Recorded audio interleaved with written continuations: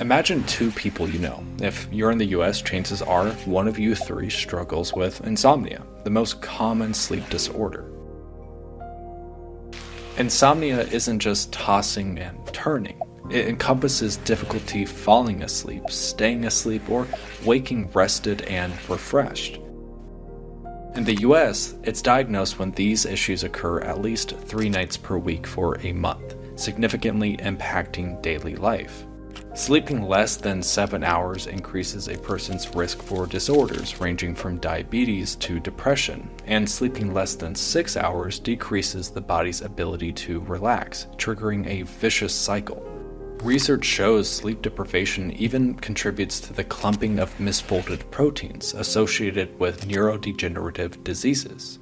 After four nights of five or fewer hours of sleep, cognitive performance plummets, akin to being intoxicated, a common plight for sleep deprived parents and professionals.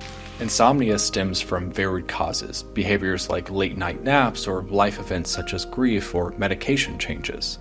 Often it's secondary to conditions like anxiety or sleep apnea.